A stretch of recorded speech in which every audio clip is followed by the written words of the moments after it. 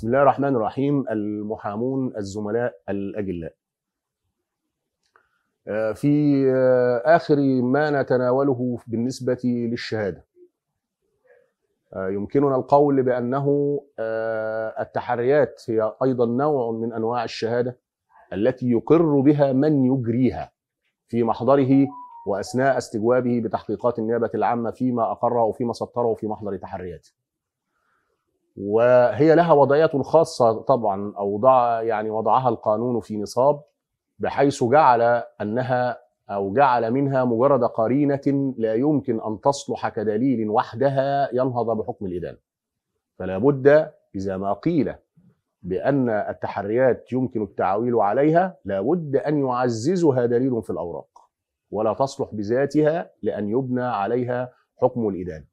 هذا بالطبع دون تجريح فيها بمعنى أنه ولو كانت التحريات صحيحة يعني ولو اطمأنت إليها المحكمة أيضا فإنه لا يمكن بأي حال من الأحوال القول بأن التحريات في هذه الحالة تحريات يمكن التعويل عليها آه، في حكم الإدانة كما أسلفت.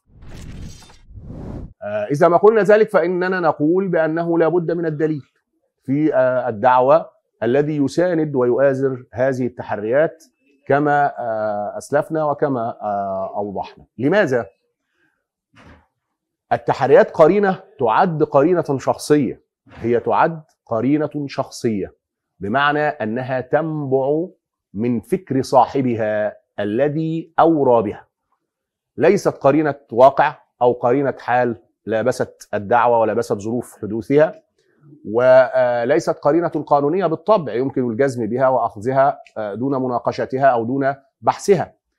وبالتالي فإنه إذا ما قيل بأنها رأي قد أقر به, به مجريها. هذا الرأي يحتمل الخطأ والصواب والصحة والبطلان.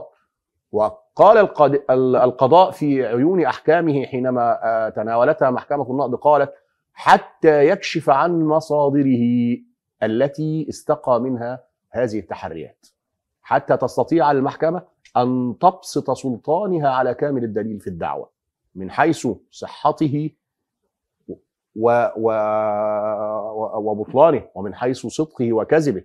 لأن المحكمة حينما تبني حكمها أو تبني حكمها تبني حكمها على عقيدة تحصلها هي من الأوراق لا يشاركها فيها رأي لسواها. يعني لا يمكن أن يشاركها في هذا الرأي. رأي آخر في الدعوة وهو رأي مجري التحريات هذا في عقيدة المحكمة التي تبني عليها الحكم. وهذا من عظمة القضاء في تناول هذه التحريات وفي تسبيب عدم الأخذ بها وحدها أيا كانت وراء. التحريات ستجد أن أساسها أو مصدرها في نصوص المواد الإجرائية أي مواد قانون الإجراءات الجنائية آه، من 21 آه، والمادة 24 والمادة 29 وهي التي تعلقت آه، جميعها بان مأمور الضبط القضائي عليه أن يقبل الشكاوى والتبليغات الخاصة بوقوع الجرائم وعليه أن يقوم بالبحث عن الجرائم في دائرة اختصاصه. وأن يسأل من حضروا ويقوم بالمعاينات والإيضاحات اللازمة ويسأل من حضروا من الشهود آه، على كيفية وقوع هذه الجريمة ونسبتها إلى المتهمين الذين اقترفوها. آه، كل ذلك ستجده بالنسبة آه، في هذه المواد لمنبع إجراء هذه التحريات. والتحريات يمكن أن يقوم بها مأمور الضبط القضائي بمفرده حينما يبلغ إليه بحدوث الواقعة أو يتصل علمه بحدوثها. أو تكلفه بها آه، سلطات التحقيق إذا ما أرادت الإيضاح والإستبيان آه، لظروف الواقعة وحدوثها على النحو الذي آه، ترتئيه جهة التحقيق بالطبع. إذا ما كان الأمر على هذا النحو بالنسبة للتحريات فإنه يمكنك القول أن القضاء قد تناولها وذهب بها إلى حدود بعيدة حتى لا يكون هناك فهم قاصر حينما نقرأها أو نتناولها. آه، القضاء قال أن خطأ جامع التحريات. في عمل المتهم. في منزل المتهم. في مكان شارع المتهم. في سيارة المتهم. في نوع السيارة بالنسبة للمتهم. في نوع المخدر الذي تم إجراء التحريات بخصوص حيازاته للمواد المخدرة مثلا. يقال ما أنه لم يحدد لنا نوع المخدر لم يحدد اسم الشارع لم يحدد آه، نوع السيارة التي كان يركبها المتهم أو يقودها المتهم وقت الواقعة لم يحدد رقم السيارة آه، لم آه، يحدد اسم الشارع. كل ذلك قد قال القضاء فيه بأن ذلك أن ذلك لا ينال من صحة هذه التحريات طالما أن المحكمة قد استشعرت من خلال هذه التحريات وتيقنت بأن هو المتهم المقصود وأنه عن الواقعة ذاتها التي قام بالتحري عنها آه، مجري التحريات. ولذلك فعلى آه، من يتناولها أن يتسع أفقه ليش لكي يشمل كل ما يقال بالنسبة للتحريات ولا يعول على آه، أشياء قد تناولها القضاء بالطبع وقد فصلت فيها الأحكام من قبل على أنها لا يمكن أن تنال من صحة هذه التحريات على هذا النحو. وهي بالتالي طبعا آه، أمر من أمور الموضوع تخضع لتقدير المحكمة من حيث قبولها أو رفضها دون تثريب عليها آه، من محكمة النقد بالطبع وهي المحكمة العليا طالما أن المحكمة أقامت قضاؤها على أسباب سائغة آه، تكفي لحمله ولا ينقصها في هذا الحاله في هذه الحالة سلامة الاستنباط وصحة مأخذها. في هذه الحالة يكون الأمر بالنسبة لها دون تعقيب عليها إذا ما قبلت التحريات ورفضت أو رفضتها آه، أترككم أيضا في هذه الحالة لسماع أحد آه، المرافعات الجنائية في آه، إحدى قضايا القتل العمد والتي لم يكن فيها أيضا سوى التحريات لأن الشهود حينما أدلوا بدلوهم في الدعوة قالوا بأن المتهمين كانوا ملثمين الذين ارتكبوا واقعة القتل. فأتت التحريات بأسماء هؤلاء المتهمين فلم يكن في الدعوة سوى التحريات. فانظر إلى عظمة القضاء أيضا وتناوله الأمر. لم يشعر القضاء في هذه الحالة بأن في الدعوة دليل غير التحريات. وبالتالي لم يعول عليها في حكم الإدانة وقضى ببراءة المتهمين في واقعة القتل لأن الدعوة لم يكن بها سوى التحريات وشهادة من أجرأها. بقي أن أنوه في آه، عجالة بسيطة بالنسبة آه، لهذه الأدلة وما قدمناه سلفا في الحلقات السابقة. أننا قلنا يعني كنت دائما أقول التعديلات الإجرائية في 2015 التعديلات الإجرائية في 2015 وفي 2017 بالطبع. في 2015 تناولت التعديلات الإجرائية التصالح وانقضاء الدعوة الجنائية في بعض نصوص المواد وتعديلها في 2017 حدثت استكمال باقي التعديلات الإجرائية وحدثت بالنسبة للدليل في الدعوة الذي كنت أود دائما أو أنوه إليه بأن آه، التعديلات الإجرائية التي حدثت آه، في آه، هذه الفترة هي التي جعلت الدليل مطلقه في يد المحكمة فعليك أن تبحث في الدليل وألا تنتظر من المحكمة أن تجيبك لطلباتك المتعلقة به من حيث إحضار الطبيب الشرعي أو استدعاء الشاهد ومناقشته أو أو أو فعليك أن تكون جاهزا لدعواك وأن تترافع والامر كله موكول للمحكمة إذا ما أرادت أو رأت أن الفصل في الدعوة يستأهل إحضار الشاهد أو إحضار الطبيب الشرعي أو احداث أو إجراء المعاينة أو أي من الأدلة التي آه، يود الدفاع بالطبع تحقيقها ستقوم هي المحكمة من تلقاء نفسها بتلبية هذا الطلب. آه، وعليك انت فقط أن تكون جاهزا. آه، تبدي طلباتك ثم تقوم بالمرافعة على نحو ما ستطلب منك المحكمة. طبعا إحنا قلنا التعديلات في 2015 و2017 ولكن أنا كنت دايما أقول التعديلات الإجرائية في 2015 لماذا؟ لأني خلينا نقول ان من نص 2015 يعني في شهر 6 2015 درجت الأحكام أو المحاكم الجنائية على إعمال مبدأ الدليل أن يكون في يدها ولا تتركه للدفاع لإطالة أمد القضايا لأن في هذه الفترة قد طبعا آه، اغتيل النائب العام هشام بركات وكان هناك طبعا استياء جدا في المجتمع وشعر القضاء بذلك بالطبع لتأخير الفصل في القضايا ويريدون سرعة إنجاز الفصل في هذه القضايا والدعاوى لأن قضايا الإرهاب أيضا كانت آه، كثيرة في المحاكم في هذه الفترة. وأراد القضاء أن يقوم آه، بعرف قد أبداه قبل صدور التعديلات في 2017 ولكن أيضا من 2015 هذا نحن نحن عاصرنا ذلك وكنا أمام القضاء في هذه الفترة ورأينا أن القضاء يطالبنا بالمرافعة وأنه إذا ما ارتأى لزوما للطبيب الشرعي أو للشاهد أو لأي من الأدلة التي نريد تحقيقها لزوما في الدعوة للفصل فيها لتحقيقها سيحققها ولكن ترافع عليك بالمرافعة. واترك الأمر للقضاء. هكذا فعل القضاء وفعل القضاء نتيجة لحاجة اجتماعية راها في في هذه الفترة. وسبقت التعديلات في 2017 وكأن القضاء أقر عرفا قضائيا في ذلك وعرفا ليس فاسدا ولا لأنه هو حمل القضاء بالدليل يعني تحمله أمام ضميره وأمام المجتمع وأمام الله سبحانه وتعالى. وذلك لمراعاة سرعة الفصل في القضايا لأنها كانت حاجة ملحة بالنسبة للمجتمع في هذه الفترة. فالتعديلات التي تخص الدليل كانت في 2017 والتعديلات التي حدثت في 2015 كما قلنا كانت تخص الدعوة الجنائية من حيث الانقضاء ومن حيث بعض مواد التصالح. واشكر لكم بالطبع حسن الاستماع وأتمنى أن تكون هذه السلسلة على نحو ما قدمنا تفيد المحامي الشاب أو أي من الزملاء الذي يريد المطالعة عليها ومشاهدتها.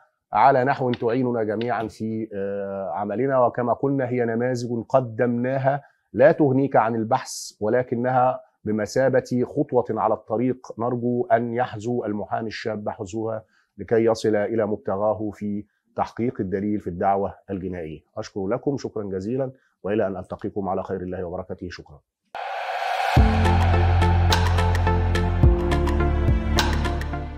حاضر مع المتهم الثالث. والحاضر مع المتهم التمس براءتي من الاتهام المشمل إليه ودفع بانتفاء ظرف الاقتران استنادا لنص المادة 234 وهي نص نهاية الاتهام لعدم قيام حالة الشروع في جريمة السرقه استنادا لنص المادة 45 عقوبات. كما دفع بانتفاء القصد الخاص المتمثل في نية إزهاق الروح وفي مجال الدليل دفع بعدم وجود ثمة دليل للإدانة وفقا لما هو ثابت من أقوال الشهود الواردين بقائمة أدلة الشهود ودفع بعدم جدية التحريات. صاحب المعالي السيد الرئيس أصحاب المعالي السادة المستشارين الاجلاء ما تعلمناه من قضائكم الجليل أن للمحكمة كامل السلطان لبسط سلطانها على وقائع الدعوة لاستخلاص الصورة الحقيقية لهذه الوقائع غير مقيدة بما جاء بأمر الإحالة وغير مقيدة بما ورد على لسان شهود الإثبات في الدعوة وغير مقيدة بما يطرحه الدفاع في الدعوة بمحضر جلسته أثناء دفاعه. وإذا ما طالعنا الأوراق على النحو الذي سطرت به وعلى أساس قيد النيابة العامة وتفسير أمر الإحالة وجدنا أن نص الاتهام بالنسبة لنص المادة 234 لواقعة القتل المقترنة بجريمة فلتها أو لحقتها أو تعاطرت معها وفقا للنص التجريمي الموجود في لائحة الاتهام. لا توجد ثمة جناية أخرى وهي جناية الشروع في سرقة. موضوع أمر الإحالة. المقال أنها اقترنت بجناية القتل. لا ظل لهذه الجناية في الأول. نبدأ بها أولا لا فندم لا 45 لا نص المادة. آه نص المادة 45 بالنسبة للشروع شروع السرقة لا يوجد لهذه الواقعة ظلا بالأوراق على نحو ما طالعنا به شؤون الإثبات وما هو مشخص لماذا؟ لأن معيار البدء بالتنفيذ الذي حددته نص المادة 45 عقوبات لا يتفق ولا يوجد نص التجريمي على الوقائع المثبتة وفيما أولي من أقوال الشهود على حال المتهم ولذلك كانت أحكام النص وأحكام محكمتنا العليا قد حددت في مثل هذه الوقائع تحديدا أن قالت الشهود بإدراكهم للمتهمين بجوار أحد المخازن وخاصة أن المخزن على الطريق العام. ربما يكون المتهم منتظرا. قالت محكمتنا العليا إذا ما كان المتهم قد أعد السلاح حتى أو أنه جهز آلاف الكسر بكسر الباب المراد دخوله لاقتراف الركن المادي لجريمة السرقة. وجد المتهم على هذه الحالة فقط بأنه معه أدوات الكسر وحاملا للسلاح. وبجوار أحد المخازن فإن ذلك لا يعد إلا من قبيل الأعمال التحضيرية. لأنه ليس هذا هو العمل الذي يؤدي حالا ومباشرة لاقتراف الركن المادي للجريمة موضوع الاتهام أما إذا وجد المتهمين على نحو قالت شهود الإثبات لأنهم يقومون بالتصور أو أن أحدهم تصور الصور أو أن أحدهم قام بالعبث بقفل المخزن باب المخزن على النحو الذي جاء بأوراق الدعوة أو قام بكسره. فإن مثل هذه الأعمال هي التي تؤدي حالا ومباشرة إلى اقتراف الركن المادي للجريمة محل الاتهام. فإذا لم يوجد في الأوراق ثمة ما يشير إلى ذلك فإننا كنا بصدد البعد عن معيار نص المادة 45 عقوبات والذي حددت معيار البدء للتنفيذ لأنه لم يكن متواجدا هنا ولا ليس له ظل بالأوراق ولذلك قلنا بانتفاء حالة الشروع أستاذنا بعد إذن عليك.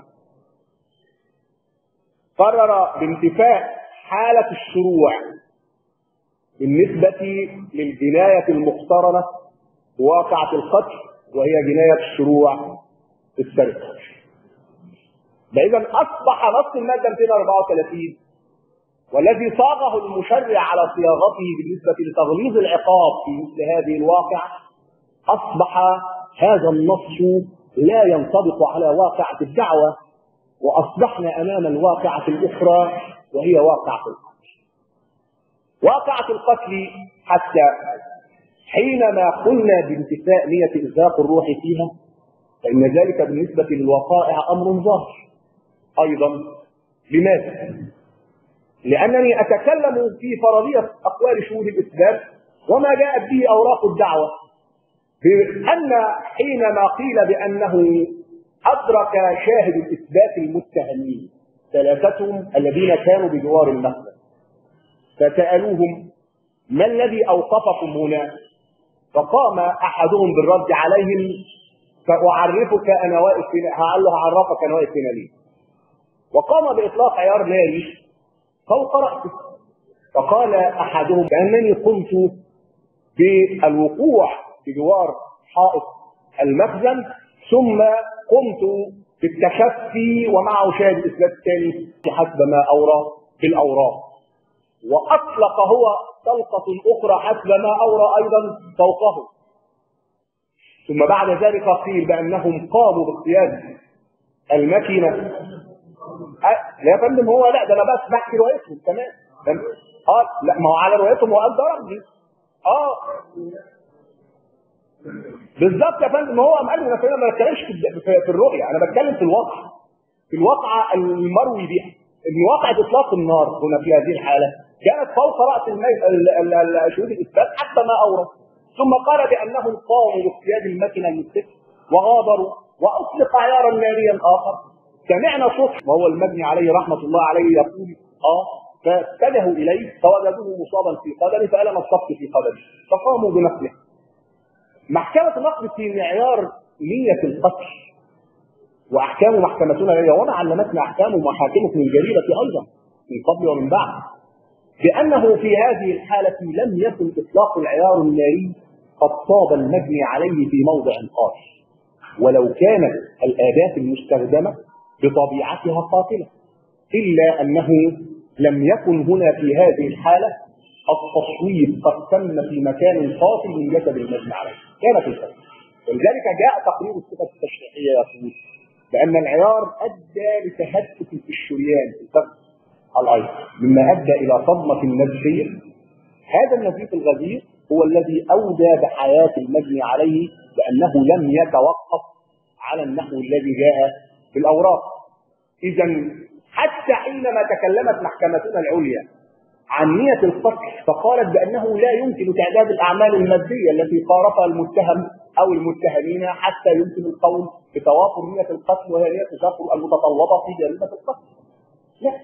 قالت بأنه في هذه الحالة لا بد وأن يكون التصويب قد تم في موضع قاتل وأن هناك من المدركات العقلية والمنطقية التي يمكن أن يستخلصها قاضي الموضوع من شتى عناصر الدعوة المطروحة عليه لإثبات أن هذه النية وهذا القصد الخاص كان بداخل المتهم أنا وإن كان القدر المتيقن في حقهم قد تم على هذا النحو والإصابة قد تمت في القدم على هذا النحو فإنه والحال هكذا لا يمكن القول بأنه لم يكن إلا قصد المساس وإصابة الجسد حسب ما هو ثابت في الأول أما نية القتل فتعد في هذه الحالة غير متوازنة وهذا ما استقرت عليه أحكام محكمتنا العليا من قبل ومن بعد وما تعلمناه من قضائكم المبجل وأقدم حافظتين المستندات وأقدم على سبيل التشريع في مقام الدليل هذا في مقام التكفير أما في مقام الإسناد والدليل ما جاء بأقوال شهود الإثبات على النحو الذي وردت به وأنا أختصر لأن الأستاذ زميل قد أفاض في الدليل. حسب ما جاء بمرافعته في مقام الدليل في هذه الحالة ما هو ثابت من أقوال شهود الإثبات الذين أتوا إلى تحقيقات النيابة العامة على النحو الذي جيء به. يعني يود يود الدفاع اولا أن ينوه إلى أن الشاهد الرابع الاثنين شهود اشقاء وهو والدهم صاحب المخزن.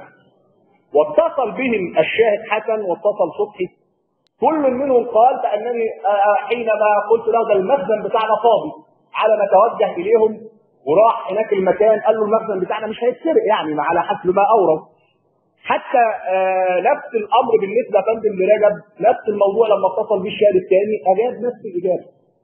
نحن نقول بان في هذه الحالة حتى لو لم يكن هناك آه منقول يتم سرقته ولو كان معيار البث للتمكين قد توافرت شروطه فحتى في عدم وجود المنقول تتم الجريمة.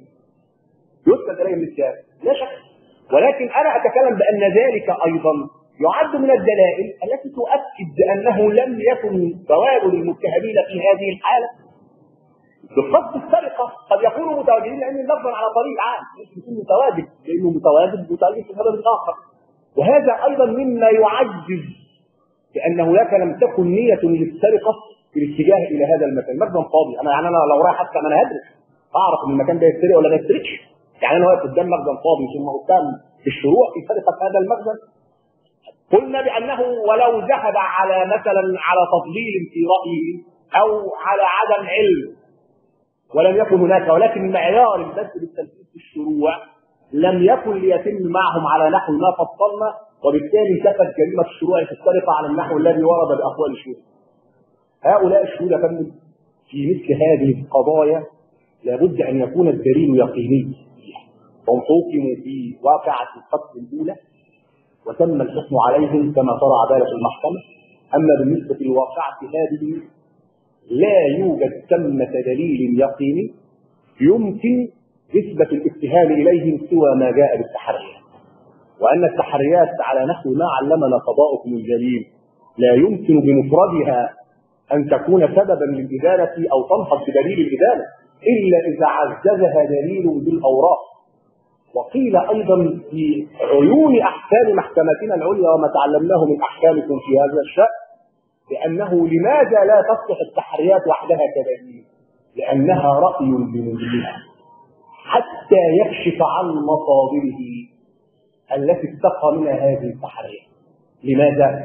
حتى تسقط المحكمة كامل سلطانها على الدليل من حيث إنتاجه في الدعوة ومن حيث صدقه وكذبه وصحته وبطلانه لأن المحكمة حينما تكون عقيدتها في الدعوة تقيمها أو تقيمها على استنتاجها هي من كافة العناصر المطروحة عليها على بساط بحث الدعوة لا يشاركها فيها رأي سواها. وبناء عليها فندم نلتمس براءة المتهمين من المواشي إليهم ونشكر عليهم